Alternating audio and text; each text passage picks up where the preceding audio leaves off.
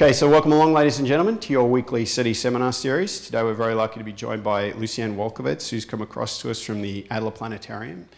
Uh, Lucianne did her uh, bachelor's in physics uh, at, uh, um, at a place that I didn't put down on my. Um, Johns Hopkins. At Johns Hopkins, excuse me, thank you.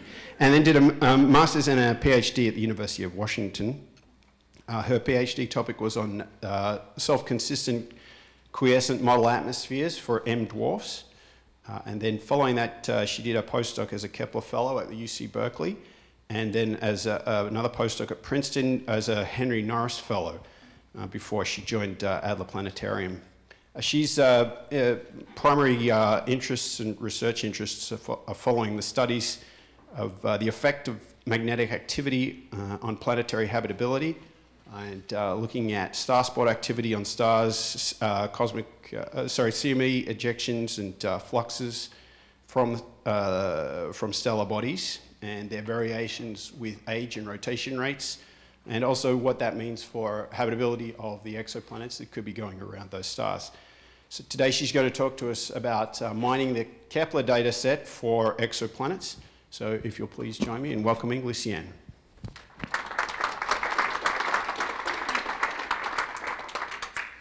Thanks very much, and really great to see some familiar faces in the audience. Um, I actually was thinking yesterday I had a chance to visit um, UC Berkeley, where I spent some time as a postdoc, and uh, remembered actually that SETI Institute is when I, where I sort of got my, uh, where I fell in with the wrong crowd and started working on astrobiology.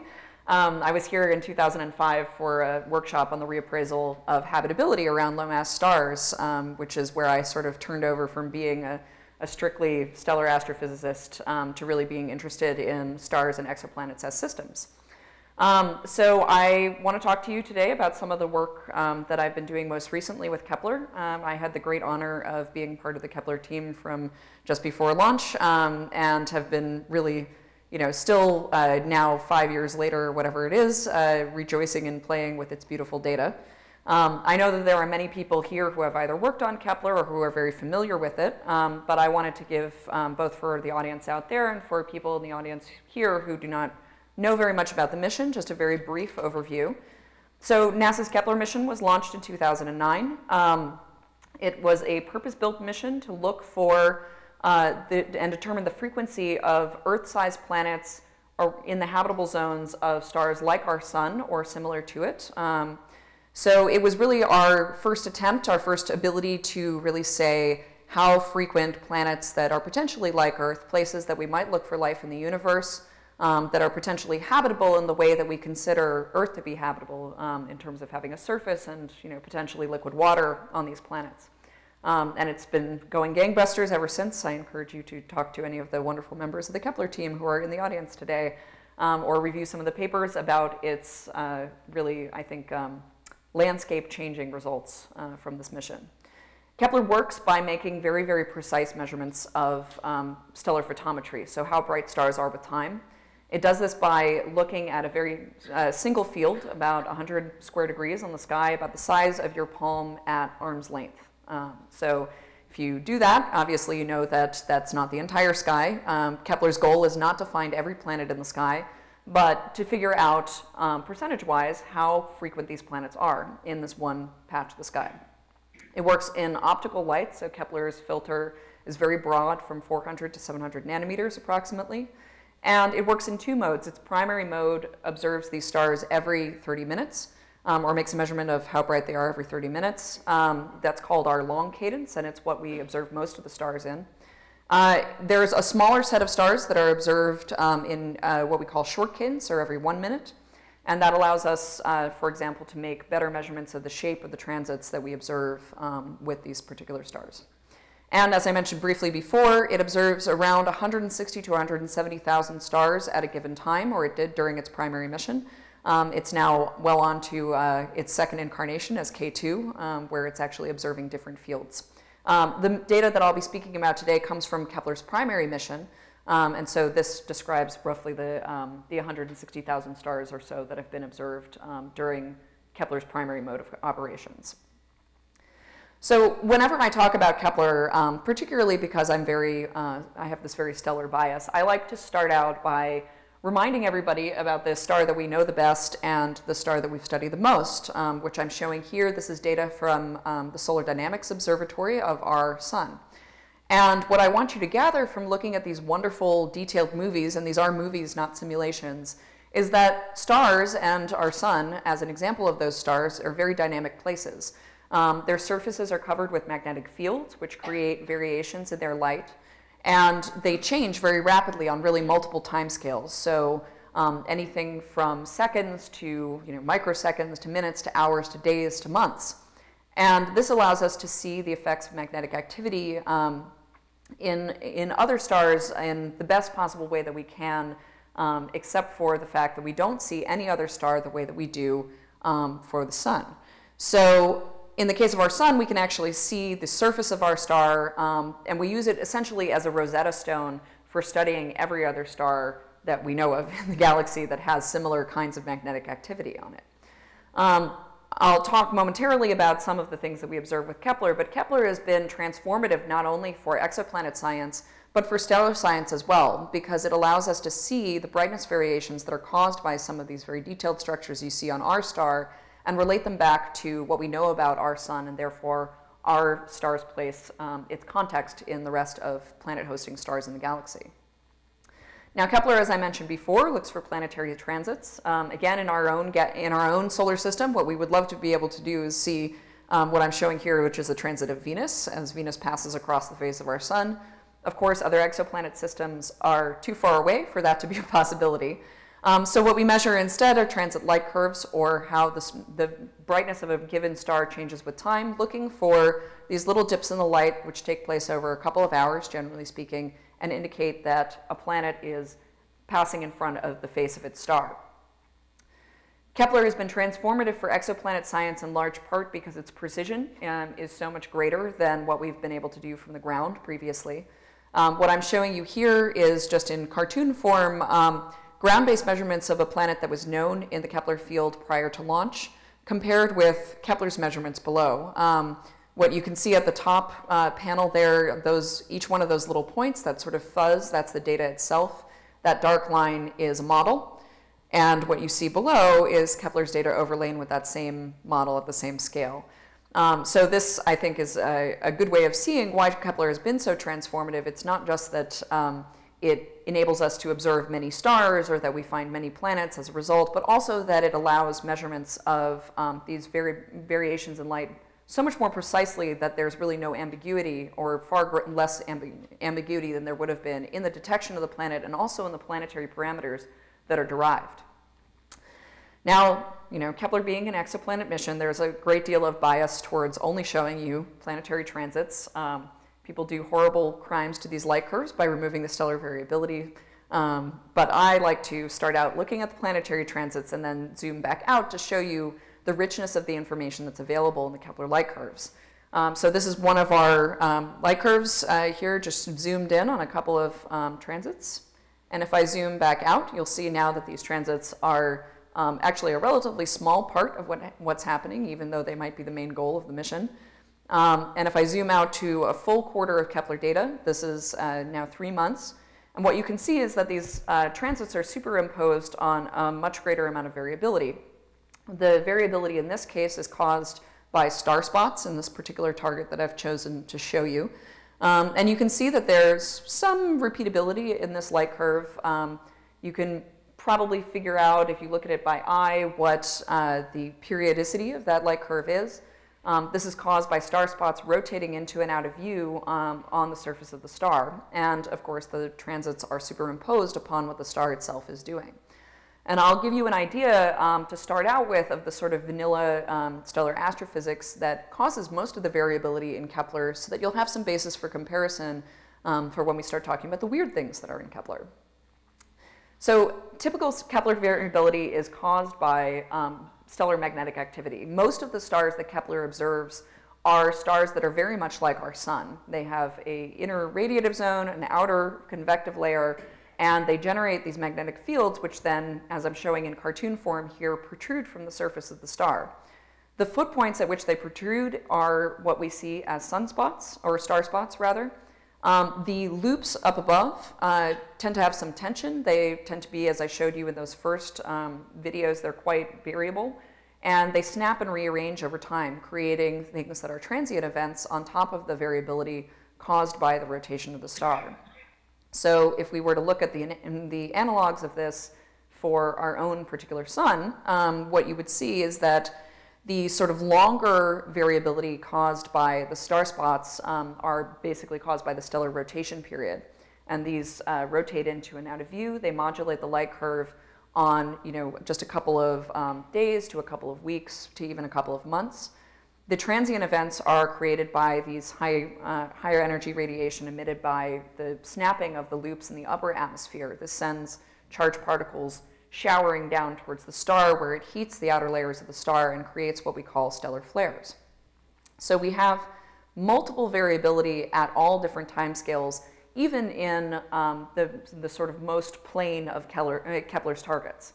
Um, so we have both flares and also these spots. And these are really helpful for us actually in characterizing exoplanet systems. Um, the power of having the rotation period of the star from star spots is that there's this relationship that's observed between stellar age and um, its rotation period. And so what Kepler allows us to do in many cases is to determine a rotation period for the star, which gives us a proxy for the age of the star. And therefore, if it's a planet hosting system, it gives us also a proxy for the age of the planetary system that's around it. The flares, in addition, also allow us to trace um, with optical light things that we would want to observe um, perhaps in higher energy radiation. So the variability that I'm showing you at the upper left there is just spot variability. These are these dark patches rotating into and out of view from your point of view that give you um, the variability that's in the photosphere. That's the foot point of those loops. The variability in um, these flares, these very transient um, spikes, these increases in light here that I'm showing with arrows down in the lower left, these are tracing events that are happening in the corona and the chromosphere, the very outer layers of the star. So what these actually allow us to do is to measure in optical light that's measured by Kepler um, a proxy for the ultraviolet and X-ray radiation um, that causes changes in the outer atmospheres of planets. So one of the things that we would like to understand um, is not just whether a planet is there, how far away it is from its parent star, and therefore whether it occurs in this so-called habitable zone where there might be liquid water on its surface from the, the actual bulk amount of stellar illumination that it receives, but also these sort of peripheral things that you can derive from the stellar um, variability. For example, the age that tells us whether, uh, you know, if we had sort of our, our, magic telescope where we could actually sample the, um, the atmospheres of these stars, would we want to know um, is this in a, the early part of its existence as a planet? Is it a sort of older planet the way that Earth is? Um, what does the age tell us about the characterization of that planetary system? And also, what does the stellar variability tell us not only about the overall bulk of the light that it receives, but also the quality of the light that it receives? It's not just optical light or infrared light, it's also this high energy radiation that creates changes in the chemistry um, and even the, the uh, lifetime of the planetary atmosphere. So at its very, very most basic level, Kepler is an astrobiological mission, um, not only because it finds exoplanets to begin with, but because it starts to give us a handle on the characterization of exoplanet hosts and the radiation environments that planets exist in. Now, in addition to uh, these, what I've told you about uh, really stands for most of the Kepler targets, um, the solar-like stars, those a little bit uh, more and mostly left, and also less massive than our sun that Kepler observes. In addition, we also observe a certain amount of regular variables, or hotter stars generally speaking, um, which are part of the Kepler asteroseismology target list. Uh, so what, I, am showing you here, for example, is an RR Lyrae star. These very regular pulses are caused um, by, well, these very regular variations of brightness are caused by pulses in the outer atmosphere of the star. Um, these are relatively rare in the Kepler data set, um, but they're often used for uh, pure stellar astrophysics, in addition to the asteroseismology that's done on the exoplanet hosts that allows us a much more um, precise measurement of some of the stellar parameters that then in turn help us characterize exoplanets. So I wanted to talk to you today about two kind of astrobiological um, projects that one can do using Kepler data.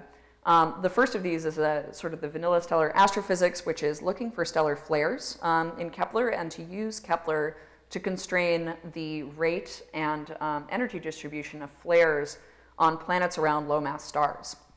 Low mass stars are in particular very important um, to understand, even though they represent a relatively small number of the Kepler targets um, by comparison with the solar-like stars like our sun. They're important because uh, overall they're lower luminosity, their habitable zones lie very much closer to the star than they do here in our own solar system.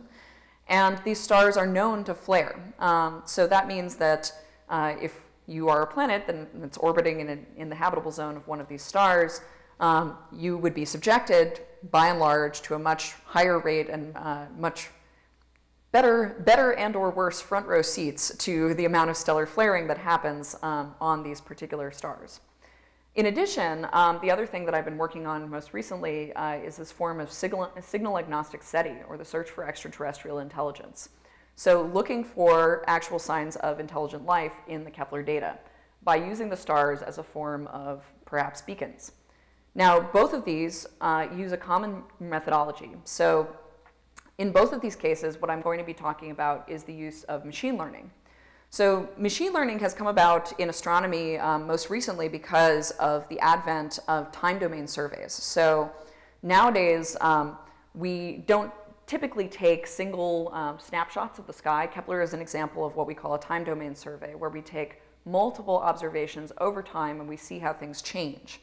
Um, this will be more and more an important part of astronomy as time goes on, um, not only because of um, Kepler and its predecessors, the MOST and COROT missions, which were also time domain surveys, but um, Gaia, which is currently happening, um, TESS, which was the next generation um, transiting planet discovery mission, and also uh, the Large Synoptic Survey Telescope, LSST, which is currently under construction and will start operations at the beginning of the next decade. And LSST will actually observe the entire night sky that's visible every few nights over 10 years. Um, so this has been called essentially, you know, the advent of like movie mode in astronomy, where instead of just having um, a single snapshot, you actually look and see how things change in time, and that's what informs you. So machine learning algorithms have typically been used and are actually used all the time um, to learn about you, actually. So uh, if you want to read a really interesting and terrifying article, I suggest you go Google uh, Target Knows You're Pregnant after this colloquium. Um, this is about how consumer data is used, um, machine learning is used to mine consumer data to better understand patterns of purchases. Um, so for example, uh, you know, would you like to receive a coupon for some diapers? Well, actually, Target can figure that out without you buying anything baby related. It actually has to do with the pattern of your shopping habits. Um, so without any specific product information, you can discern things about the kinds of coupons that somebody might want to receive, or as you will read in that paper, they might not. Um, it's an enjoyable read. So um, now that we have these sort of large databases of astronomical data, um, what we can do is use some of these um, methods that are used in industry to try and do uh, data-driven discovery to rather than just always observe the things that we know that are out there, to do um, really discovery of things that are unknown. And one would hope that if we're going to build things like LSST, which sample the sky in a different way, that we would actually do this to uh, learn novel things about the universe rather than getting bigger samples of the kinds of things we already know are out there. Now, machine learning breaks down into roughly two um, sort of broad labels. There's either supervised or unsupervised learning. Supervised learning means uh, it also goes by classification, which I think is a slightly more transparent name for it. This is where you have a set of data and you have a set of labels, and you would like to assign a label to each one of your observations. So for example, in astronomy, we would say, um, I want to know which one of these things is an RR Lyrae variable, and I want to know which thing is a supernova, and I want to know which thing is a solar type star. So here you're actually trying to, to associate the thing that you have observed with a particular physical class, which also, of course, brings with it um, a whole bunch of physical interpretations about what's causing the variability. In addition, um, there's also unsupervised learning, or it's a more slightly, again, more transparent name, clustering. This is where you attempt to discover categories of data based on the data characteristics itself. So you look for things that are self-similar in the data, but you don't necessarily have a label that you want to ascribe to that particular class or not. Um, Now, it may be that you discover categories that actually do have a physical label to them, but you don't have to presuppose what that label is, and you don't have to assign that label to the data. All you have to do is discover structure, essentially. Now, for both of these, what you do is you work from the data itself. So, for example, if you take sort of you know ye old model of uh, stellar astrophysics, you have somebody who's observing a particular light curve, and they're comparing what they've observed with um, a model that they have in their mind, for example, of what a pulsating star looks like. What you're doing with your eye, essentially, is making measurements about the shape of that light curve. Well, you can actually do that quantitatively by making measurements of the shape of the light curve. You can use things like the morphology of it. You know, does it resemble a sinusoid? Uh, are its maxima peaked, or do they tend to be more rounded? How many of them are there? Um, what's you know the basic statistics? What's the standard deviation um, of this light curve? Is it periodic or not? You can use these as inputs to machine learning algorithms to try and discover some of these categories, or again, to try and determine what the label of a particular um, object is. In addition to the actual data that you're trying to classify itself, you can also bring in contextual information. So for example, um, with the Kepler observations, we also have uh, the Kepler input catalog, which gives us color and temperature information, often um, measurements for log G of, the, of these stars. So you can fold that in as well and try to discover um, these categories that way. So, uh, you know, for example, I'm showing you here just uh, an HR diagram that shows you how um, certain classes break down. So we have all these different variables here um, where you would see actual different morphology in their light curves. Now, in addition to this, you can also use the data to discover things that are very isolated. And so you can determine outliers or things that are truly weird in your data by trying to discover categories and then saying what things don't fit well with those categories what are the weirdo outliers that are in my data and why have they become separated from the rest of my data in this sort of higher dimensional space um, of all of these metrics or these measurements that you've made about the morphology and behavior of the stars that you're observing. So I'll talk about um, first the stellar flare aspect of this, um, which is a classification project. And then I'll move on to the signal agnostic SETI part of it, um, which is, uh, uses primarily unsupervised learning or clustering. So in stellar flares, as I, as I stated briefly at the beginning of um, this talk, what they look like uh, to us here as observers on Earth, or very close to Earth in the case of Kepler, um, is brightenings, transient brightenings over the course of a couple of hours. They are associated not only with these optical variations, but also with UV X-ray um, emission as well that affects these planets. Now, these are very, very dramatic events. Um, one of the things that I'm showing you here in the lower left is a light curve from a very, very large flare that happened on a red dwarf in the early 90s. Um, had a wonderful set of uh, spectra as well, showing the variations in um, the ultraviolet light that was observed from this star. Now, the problem with uh, stellar flare observing, typically speaking, has been that over the entire you know, history of ground-based observing, um, there's actually a bias built into how we go for observing time um, and therefore how we observe stellar flares. So if you are going to observe a stellar flare, this is a chaotic event that is non-predictable and so it behooves you to apply for telescope time to observe a star that's actually going to flare. That means that traditionally all of the observations of stellar flares are focused on stars that flare very frequently. That means that Stars that flare, uh, that tend to be very young, they flare, they're very active every couple of hours. Um, those flares tend to be larger than average. And that means that we're very biased towards what's happening in the very early stages of a star's life and what its flaring activity is like then. Now, if we want to understand exoplanet systems, what would actually be helpful to know is, you know, does the planet experience these flares in the early part of its life and then it's, you know, left sort of to be peaceably alone um, without being harassed by ultraviolet and X-ray emission? Um, or does that continue to be a major input into the planetary atmosphere? How long does that affect um, the chemistry for the duration of the planet's lifetime? Or, you know, do you, if your planetary atmosphere survives after X billion years, are you sort of safe beyond that? Um, and one of the things that's powerful about the Kepler data is that it's actually not meant to look at stellar flares, right? It's meant to look at a fairly typical sample of solar type stars and stars that are a little bit less massive. But because it has this exquisite photometry, it gives us a chance to measure the stellar flare rate.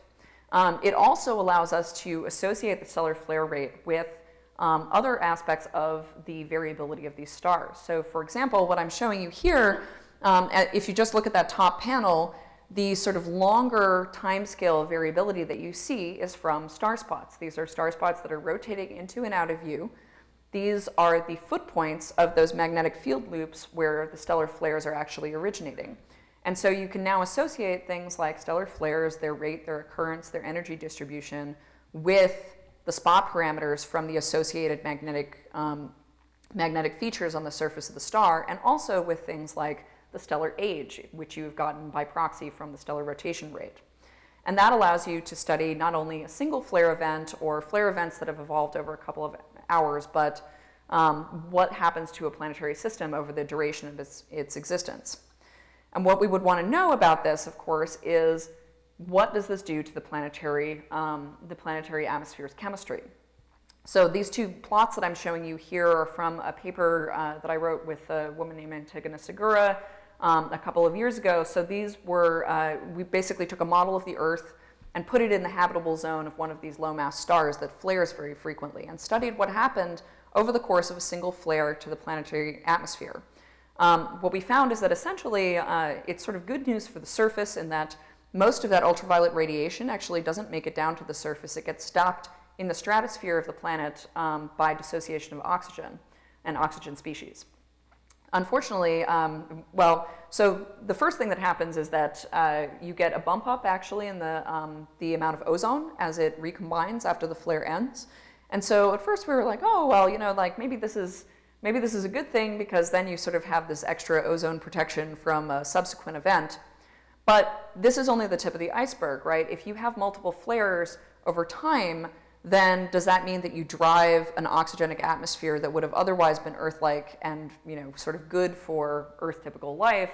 Um, do you drive it actually towards being an entirely ozone atmosphere? Um, and so one of the things that we're looking forward to doing is to taking the Kepler flare rate um, and to use that as an input for uh, multiple flare events um, in these models and to study what happens, what's the endpoint that you drive the atmosphere towards. Um, I've been told that we're supposed to wait till questions at the end, so hang on. um, so if we want to look for flares in the Kepler data, um, the Kepler data is wonderful in that it's very extensive and there's lots of it. Um, and it allows us to do things like study the flare rate in these lower mass, these uh, lower activity stars. Um, however, we also see a lot of these kind of upward excursions in the data. There's quite a few um, things in the Kepler data that might not be flares. And one of the bottlenecks for doing this um, is that each one of these flares, you can pick out sort of upward excursions that are roughly on the, same, on the right time scale that you would imagine. Um, but you then have to actually go through and vet what things you think are flares and what things you don't. Um, that's problematic on multiple levels. It's problematic because you have to actually do it yourself, and these, some of these stars flare a lot, and there's you know 160,000 plus stars. Um, in addition, uh, you are sort of biased by whoever is doing the flare event. You know, does like if you know John does the flare vetting and I do the flare vetting, do we each think that the same thing looks like a flare? So one of the things that we've been working on is to try and create a, a system for machine vetting of these events. So rather than um, doing all of these flare events by eye, to try and train a classification algorithm um, to say whether something is or is not a flare based on us training it on only a smaller set of light curves. So I'm showing you here, for example, um, this is uh, my student Nicole, who is a wonderful CS major who happens to like astronomy. Um, I highly recommend working with computer scientists. They're really great. Everybody thinks astronomy is cool. Um, so I'm showing you on the left uh, and on the right things that were flagged as upward excursions above some threshold in the Kepler data, um, whereas one has sort of what we would consider to be this hallmark shape of what a stellar flare looks like that would be something that Nicole would say, yes, that's a stellar flare. And then on the right, um, something that looks sort of bumpy that's actually because the light curve is sort of noisy, and these couple of points happen to be above the threshold, but they don't really resemble what we would think of as a stellar flare. Um, so what we did was to try and develop a number of metrics that captured the kind of thing that we were looking at. So, you know, what's the you have some five points or something above the threshold, what's the shape of that? Um, is it symmetric? Is it asymmetric? Uh, is the central point higher than the rest of them? Um, how consistent is it with the kind of thing that you would expect? And to then train um, this algorithm based on uh, those initial set of just a couple hundred um, uh, of these flare events being vetted. Um, so we have initial event, uh, uh, initial results in that um, for the M and K dwarfs, so this is roughly 26,000 or so stars in one of the quarters, um, we find that there are around 20,000 actual flares. These are things that are, um, that are vetted as being yes, according to our machine algorithm. Um, this is uh, very preliminary in the sense that um, what, we're, what we've been exploring is the choice of the classifier and also um, its sensitivity to the size of the training set. So I'll revisit at the very end of this um, momentarily some of the things that we're doing to improve the performance. But this shows you immediately, right, that the, uh, the size of the number of flares that you have, this is 20,000 things that we think are real, right? So um, for somebody actually having to go through all of these flares individually um, would be really kind of time consuming and not really a great use of time when you could do something like this automatically. Um, we can do initial things like look at uh, the peak brightness as a function of the Kepler magnitude. So the Kepler magnitude, you see this sort of increase because um, it's kind of lim limiting magnitude uh, or the limiting amount of increase that you would see um, and flag as a flare above the noise floor of the Kepler data you can you know, initially gather that there's actually um, quite a lot of variation in the peak flux. And if we look at this as a function of something more physical, um, so this is the peak brightness in the flares that we believe to be real as a function of the um, effective temperature of the star. So this is just K dwarfs down to M dwarfs, or the coolest stars in the Kepler sample.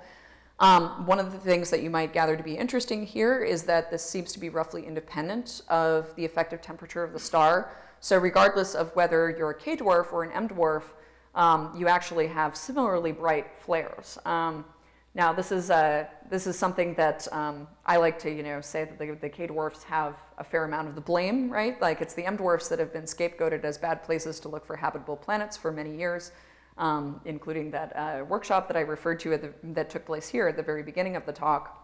But actually K dwarfs do a, flare, a fair amount of uh, flaring as well. Now, uh, for a given flare event, if you kind of integrate under that curve and you look at um, the integrated energy uh, sort of as a function of um, the brightness of the star, the M dwarfs do try to tend to release just a little bit more energy in um, typical flare. Here down is more energetic on the y-axis, and this is duration in hours of a particular event. Um, and I'm showing you the M and the K dwarfs just slightly offset from one another. So you can see that the M dwarfs tend to be um, just a little bit further offset down or towards slightly more energetic, um, slightly more energy output per flare. Um, but overall, actually, the K-dwarfs do their fair amount of flaring as well. And what that tells us is that we need to consider, um, not only in the case of M-dwarfs, where there's been a lot of sort of press around um, flares being a major input to their atmospheres, and it is true that the, that the habitable zone of these uh, stars lies much further in, um, so the K-dwarfs, I guess, give you a benefit in that your planet that's potentially habitable is again further away from the star. Um, but you still do actually need to consider this uh, as an input for the atmosphere of a planet that's orbiting really any kind of star, apparently. Um, and just to make my point about uh, the, the bias that we have built into our flare observing thus far, uh, actually, even though the fact that most of the flares that get most of the attention and the, um, the sort of great flare papers that are out there, um, like the one that I showed on this famous low mass star from um, the early 90s, even though those tend to be the long duration flares, the things that are four hours, five hours in duration, the majority of the flare events that we find um, are pretty short duration. There's kind of a cap here just because of the um, number of data points that we, we require at least three consecutive data points to be above some threshold in order to declare that something is a flare. So that means that the minimum duration of a flare that we're sensitive to is an hour and a half um, in the Kepler long cadence. But um, this you know, should indicate to you that the short duration flares, the ones that you know, would have been considered unremarkable for observing, um, are actually probably where you're getting most of your energy from um, at the top of the atmosphere in the planet. So these are something that have to be understood better in order to um, actually model these planetary atmospheres. Um, so I am going to move on from this to uh, sort of search for intelligent life. Um, so this, uh, the Kepler flare study was an, attempt to use um, classification or labeling of whether something is or is not a flare. So a yes, no, um, in some cases a maybe, for a given event based on measurements of that flare and the overall properties of the Kepler light curves. Um, unsupervised learning or clustering um, is considerably more nebulous in that um, you're not trying to assign a label, but you are trying to discover structure in your data and then um, in the in case of this particular project, discover anomalies and things that are isolated. So I don't need to tell you, I have even Jill's picture here on my slide. Um, I don't need to tell you that uh, the search for extraterrestrial life has been going on for quite a long time. Um, in, in general, we do tend to do um, what, what one would say um, are targeted searches for in, in intelligent life. So this is either, um, that can mean that you've chosen the target, so you've decided to look at a particular field, for example, the Kepler field, or that you've chosen um, a particular signal to look for um, that is something that you've determined would be something that, for example, we would do. So this tends to be, you know, if I had to send a signal out that was not in human language, what would be the kind of thing that I would send out into space, um, either int intentionally or unintentionally, um, that would signal that there was advanced, technologically advanced life. Um, the question that's behind this is really something that is, um, I think, intrinsic to uh, this era of time domain astronomy that we're in, um, which is how do we enable discovery of something when we don't know the nature of the signal? Um, so I, as I will show in a few slides, um, my colleague Jeff Scargle here loves to call this psychoanalyzing ET. So we don't really know anything about the, the, what the signal would be. Um, we know a lot about our own, um, our own processes, our own thought processes, and the kinds of signals that we could generate. Um, you know, we can even imagine things that uh, we could imagine building, like for example, Dyson spheres are a good example of this, right? We could imagine doing large solar system scale engineering um, without actually being capable of doing large solar system um, scale engineering. But what if you don't know the signal at all? Um, so we uh, came up with this project. Uh, this is, we dubbed stellar lighthouses. So something that you would see out uh, in the universe that was caused by um, you know, some sort of advanced technology, either modulated the light of its star um, either intentionally or unintentionally. Um, one of my co-Is is here today, Jeff Scargle. Um, this was also done with Ed Turner and Vicki Meadows and Tony Zee. And we had a number of students um, work on this. Uh, Revant Nayar is a Princeton undergrad, um, Alex Howe, a Princeton grad student, and uh, Eddie Schwieterman, who's a UW graduate student. Um, I will say, and, and actually, Jeff, I don't know if I've ever shown you this, um, but if you decide to work on this, you will get text messages like the following, which is somebody just stood up in this AAS session, called you out by name, and said that you would say that extraterrestrials might explain observed jitter and Cepheid light curves. And I said, oh wow, was that Jeff Scargle? which it was.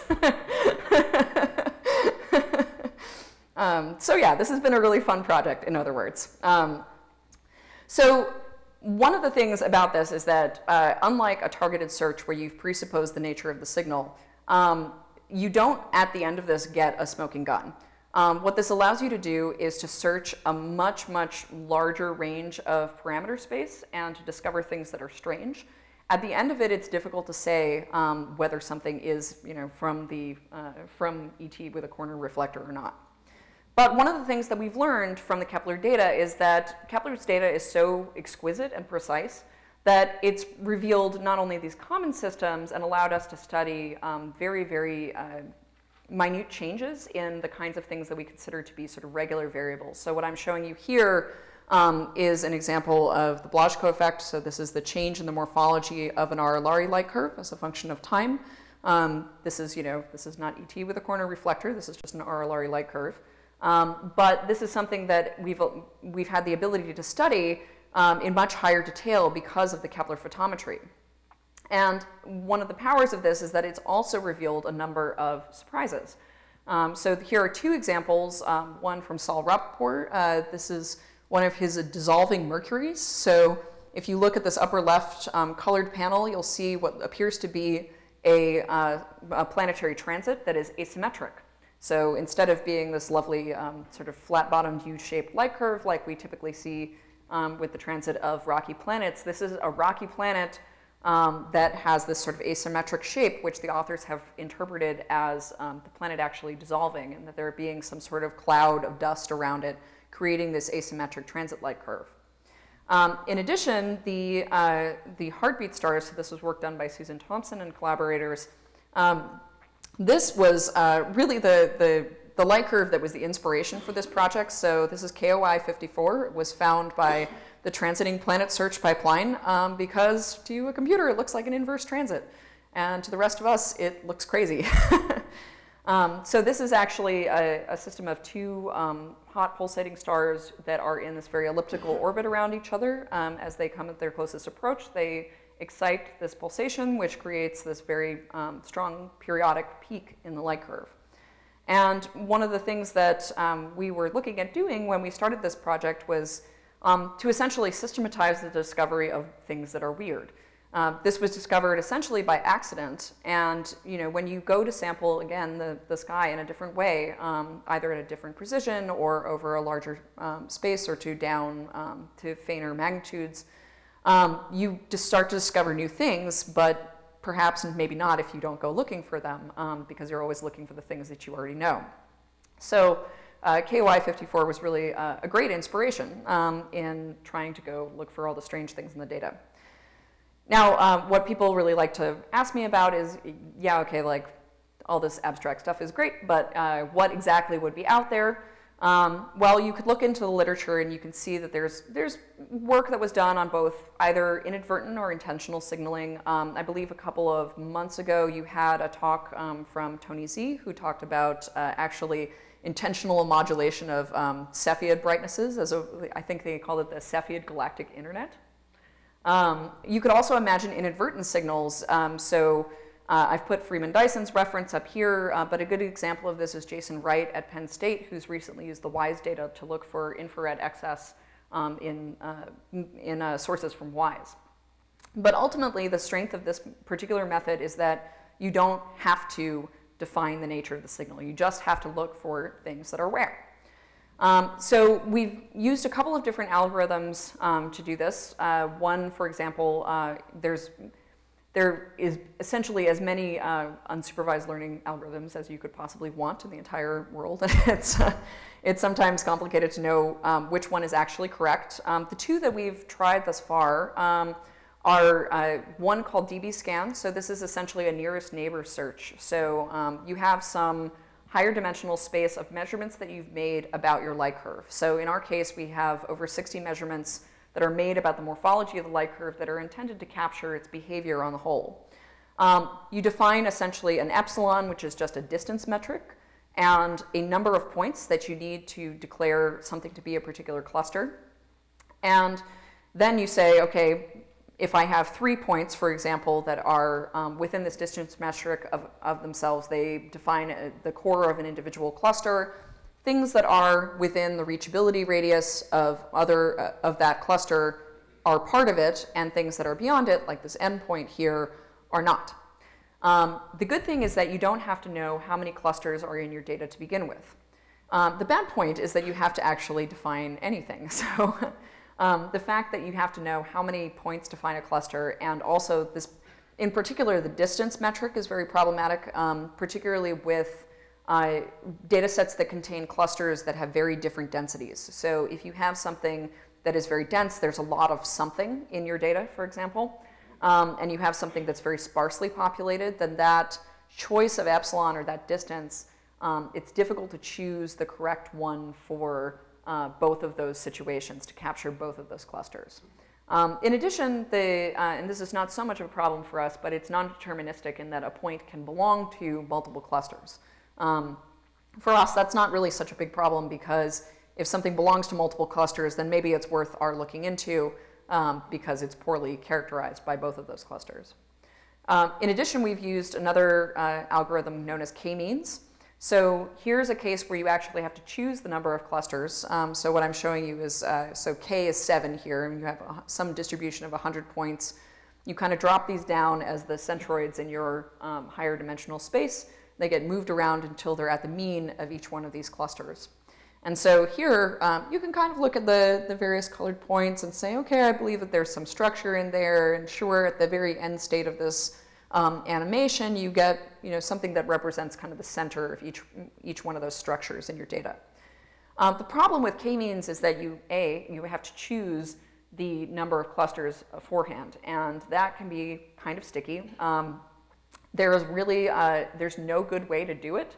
Um, aside from trial and error, there's not really even any prescriptions in um, computer science literature for what the best way is. There are many papers that are, oh God, we don't know how to choose the best number of k, um, but there's not really a solution to this yet. So, you know, for example, just because you can cluster your data doesn't mean the clusters are physically useful.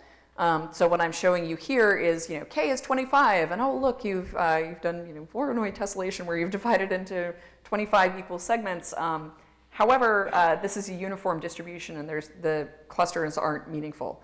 Um, so, you know, if I show sort of examples from this, choosing the number of clusters can be kind of tricky. Um, these are just two sort of random variables, and you can see that there we've here is an example where k is four, and there's four clusters. And sure, these are three believable clusters, and there's one cyan point at the very top there.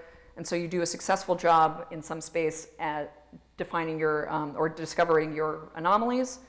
But then, you know, what if you take 10 and then you have, you know, sort of clusters that seem, some of them are separated, but then, you know, looking down towards the right, lower right here, are those things really different or not? Um, so what we've done thus far is experimented with um, both k-means and dbScan. Um, Jeff has also done a variety of um, things with Bayesian blocks to try and discover um, some of the structure that's in the Kepler data. And um, we have kind of an initial list of anomalies Anomalies here can mean things that are really truly weird, and they can also mean things that are fairly vanilla. So one of the things that we're really good at is finding pulsating stars.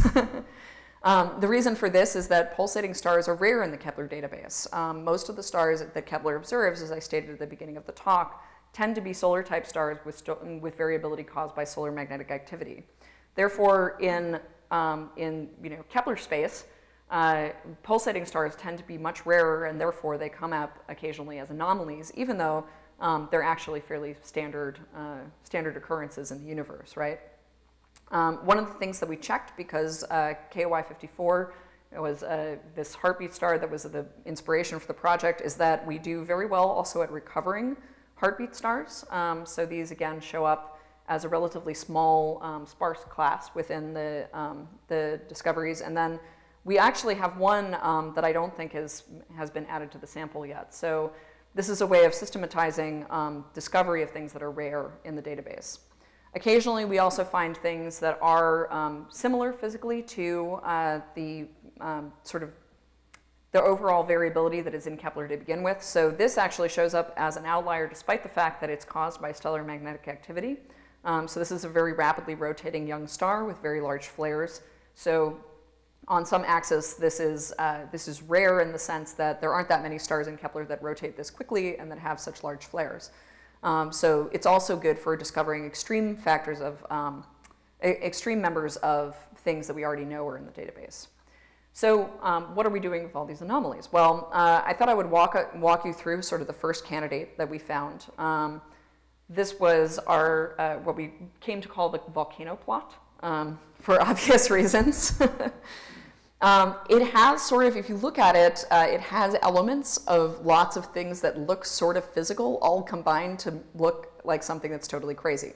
So uh, this is what Gabor Basri, my former advisor at uh, Berkeley, would call a WTF variable. Um, so, you know, there's like something that looks like a flare, there's something that looks like transits, there's something that looks like, you know, some sort of outburst, like maybe it's a microlensing event or something like that. Um, and so we all kind of looked at that went, what is that? um, so one of the wonderful things about Kepler is that uh, Kepler downloads its pixels. Um, this is one of the main advantages, uh, well, one of the advantages that Kepler has over um, missions like HERO that do onboard photometry is that um, it allows you to actually go and look at the pixel data and study in detail how the light curve that you have gotten out of the telescope actually came to be. Um, in no small part because of the PyKE pixel extraction tool, um, which Tom Barclay in the back there worked on. Um, this is very, very handy. So um, we basically went, uh, we took this particular example of the star. Uh, this was found, I was showing you a light curve that was from a single quarter of Kepler data. And we went through and pulled down the pixels for all of the different quarters and extracted and looked at the pixel by pixel light curves. A, um, you can see that there are quite a number of pixels here that are not contributing to the light curve. Um, we looked at multiple quarters and we saw, uh oh, this happens every year. Um, now, in astronomy, things that happen on an annual timescale are generally speaking bad. um, so one of the under, other wonderful things about Kepler data is that we also take full frame images. Um, and in transient and variable astronomy and surveys, it's often very important to understand the scene or what's happening around um, the thing that you've actually observed. So Kepler does download these, um, these pixel stamps that allow us to look at not only the pixels that have come to us uh, and that the pixels that were actually used for generating the light curve, but also a halo around them. But they don't give you a picture of the scene, but the full frame images do. Um, so we went and looked for these particular uh, light curves. Unfortunately, um, it turns out that this aperture actually falls on a diffraction spike once a year. Um, so the only motion, as many of you probably know, that Kepler does is this quarterly roll.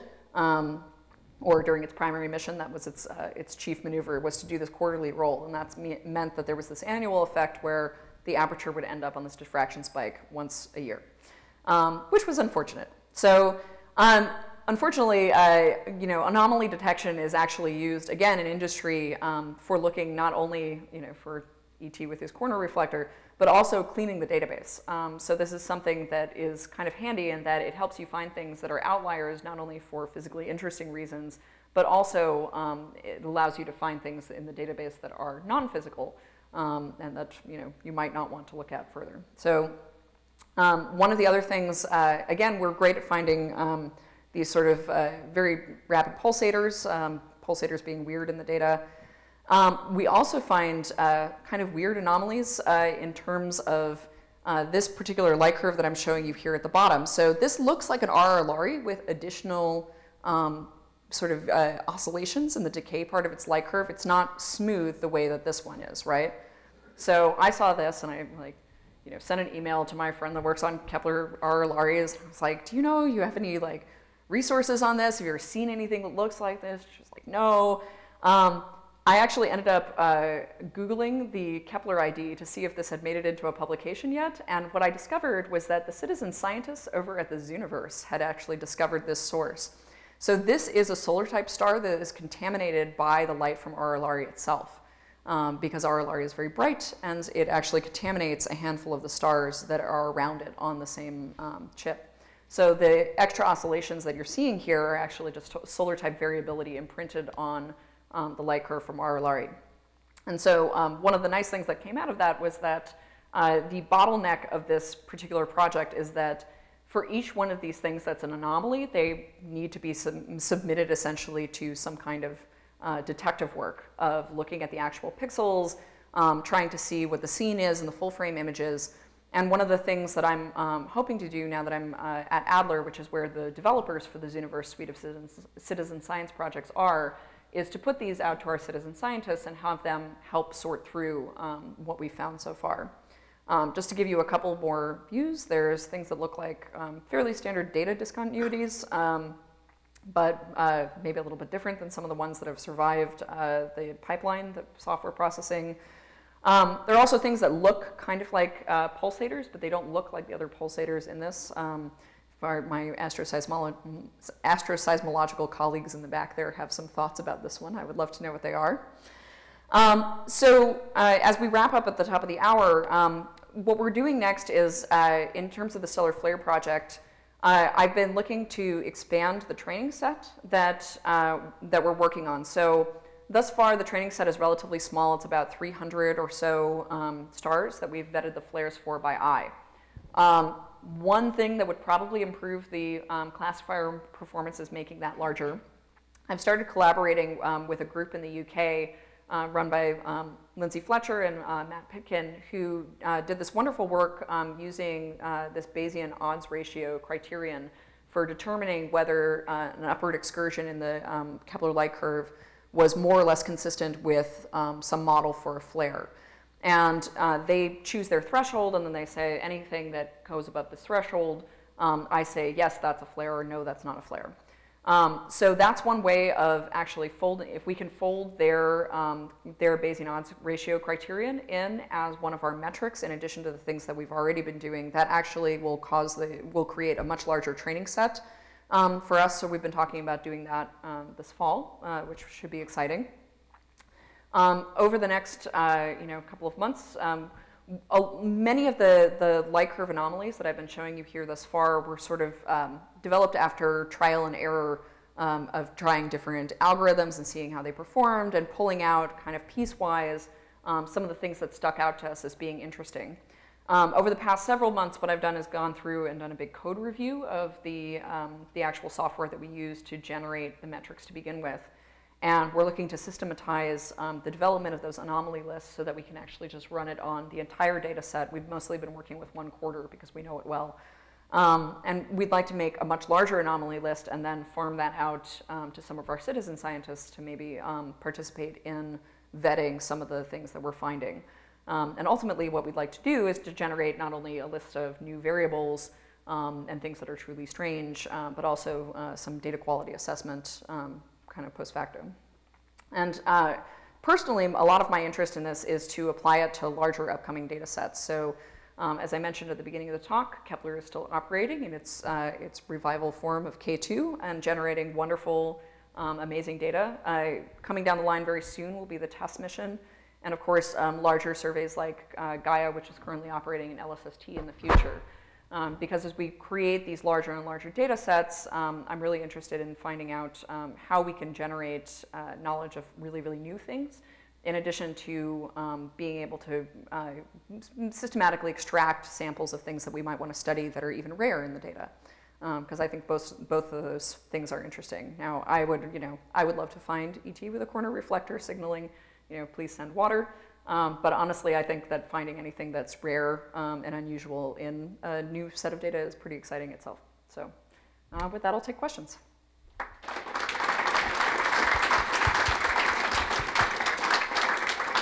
Um, if you have a question for Lucianne, put your hand up and I'll come around to you. Lucianne, I'll ask the first one. Um, so, are there any uh, are there any stars in your M dwarf collection that show flaring that uh, is suggestive uh, and, and have exoplanets uh, close enough in hot Jupiters or, or, what have you that you have been able to suggest, well, the flare is actually going to interact with the exoplanet. It, like the flares are going to be big enough to contact the exoplanet. Well, so you actually don't have to be that close for a flare to impact a planet, right? And we know that from he, living here, right? right? So we're we're considerably farther away from our parent star here on Earth than um, a planet in the habitable zone of an M dwarf star would be. And we experience um, the influence of our, um, our sun's activity, which is actually relatively minor um, compared to many of these M dwarfs in terms of you know, it causing the aurorae, for example, um, it also influences the, the, chemistry of our atmosphere. It heats our atmosphere. It's actually one of the, um, the primary ways we get rid of space junk is that when the sun is very active, it actually causes a little puff up in the outer part of the atmosphere, creates drag, um, removes stuff from orbit um, when possible. So, um, you know, we, we already know that planets even this far away um, experience the effects of stellar activity. And so we don't essentially we don't have to look and guess whether that would be true because we expect it to be so. Okay. That was fascinating. Uh, one virtue with, with machine learning, surely with the Kepler data, is that you have a huge amount of data continuous over three years looking at the same objects.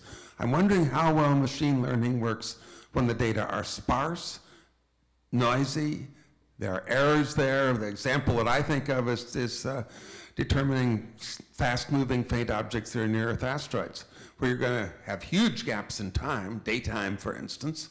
Uh, you're going to combine data from different telescopes with different properties. There are going to be multiple asteroids in the field, so it won't know which one is which. Does it work in those cases? It does work. Um, it, it definitely, I mean, part of um, one of the interesting things about using Kepler for this is that it's a totally different regime than machine learning has been used in astronomy so far because the data are so rich and so precise and by and large so incredibly contiguous. I mean, we have some data gaps, but very few.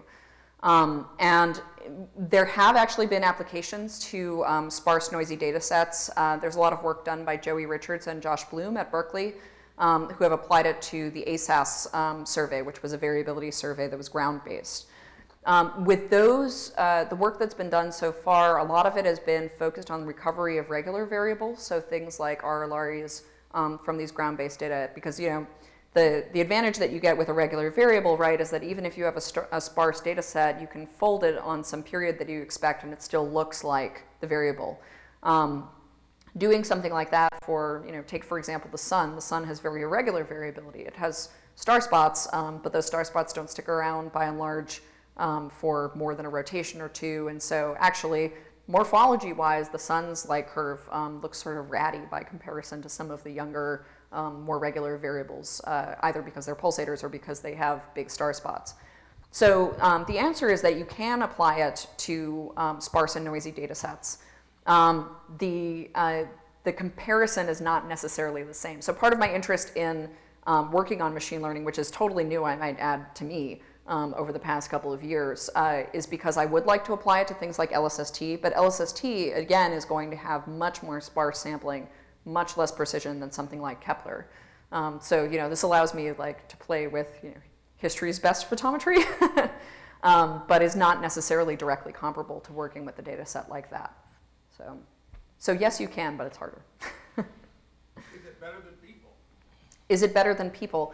Um, you know, the, the, with things like Supernova Zoo, it has started out worse than people and then ended up better than people. So um, Supernova Zoo was a citizen science project that was intended to identify supernovae, um, which the, uh, the citizen scientists at the beginning were actually better at picking out things that were supernovae.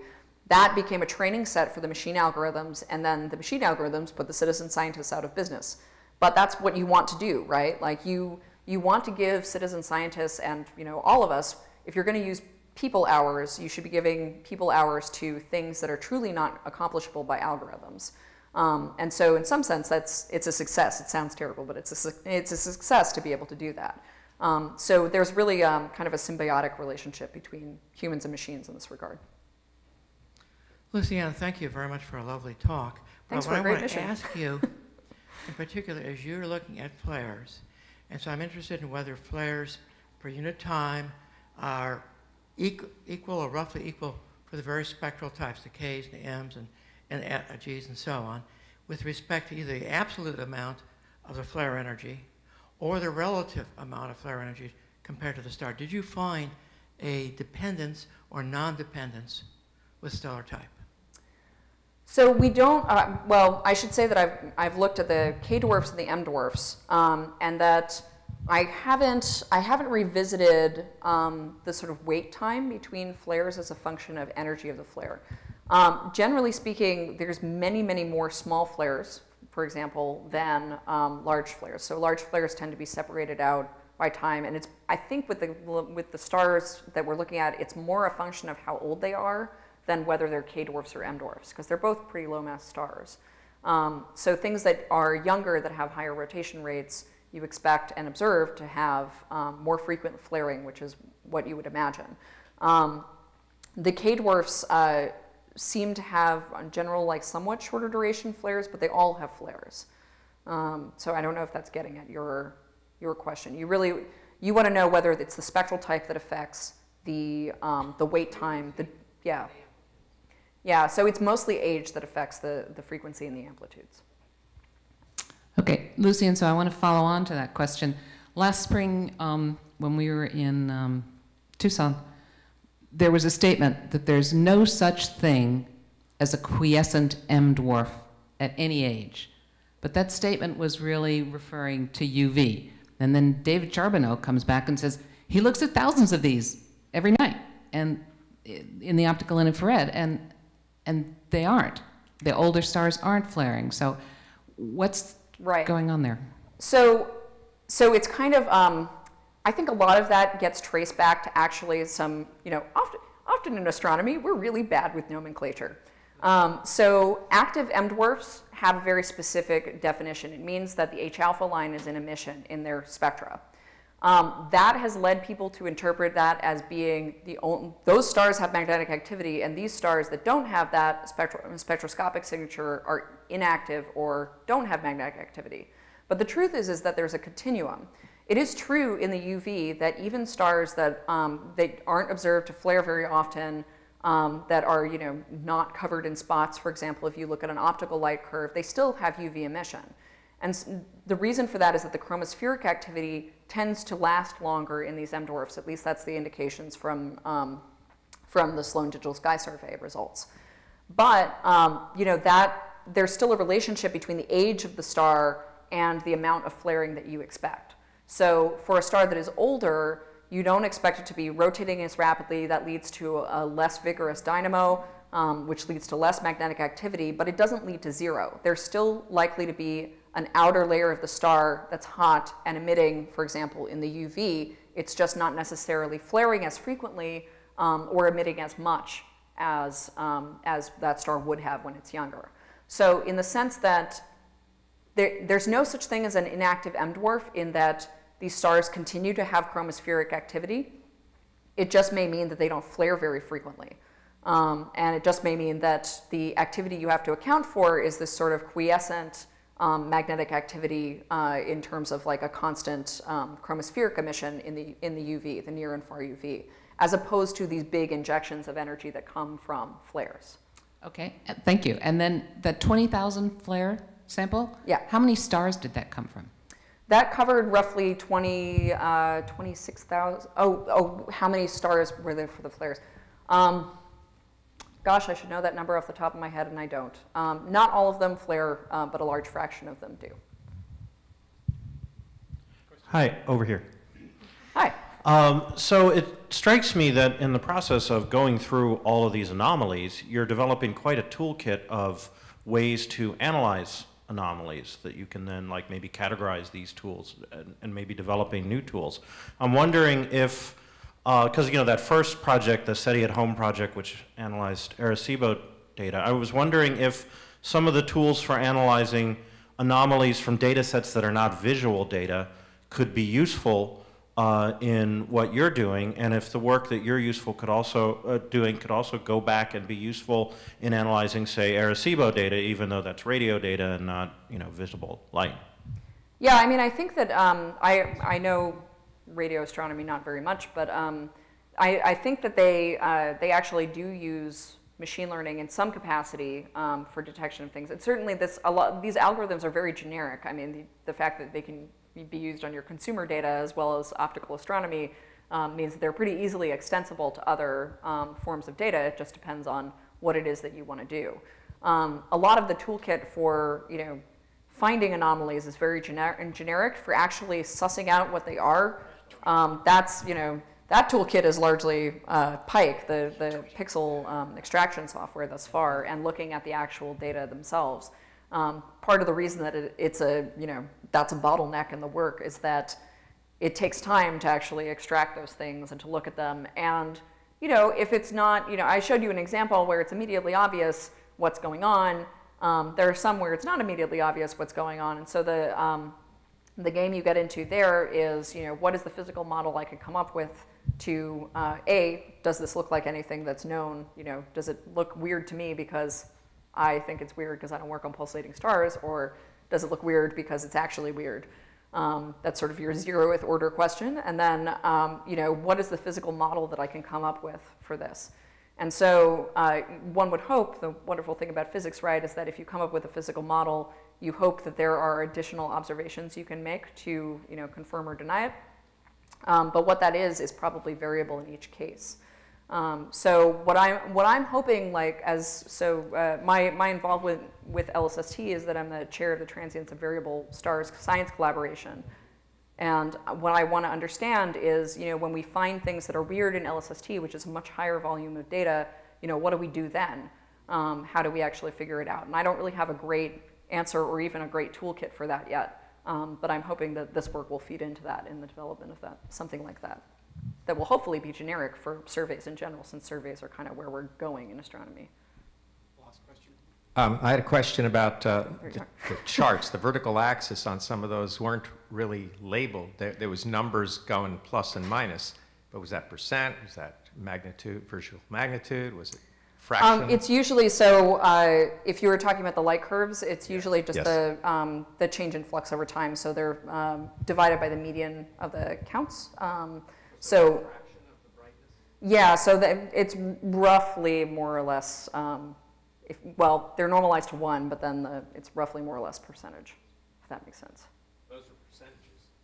Well, it's, so it's the change in flux divided by the flux. So it's a normalized change in brightness. Right. Right. Percentages or fractions, like .01 on that scale? Is that .01 percent or is that .01? So it's point oh, it's, okay, so it's 0.01. Okay. Yeah. One part in a hundred, not one part in Yes, yes. Okay. All right. Thank you. Okay, um, if you have any more questions for Lucianne, um, she'll be up here for a little while. Um, Lucianne, you were talking about um, aliens with corner reflectors. I, I, maybe these guys can use their hands Awesome. because they're robotic, um, has the corner reflectors. Built Um, right in. Yes, exactly. Thank you. Please join me in thanking Lucianne for a great talk.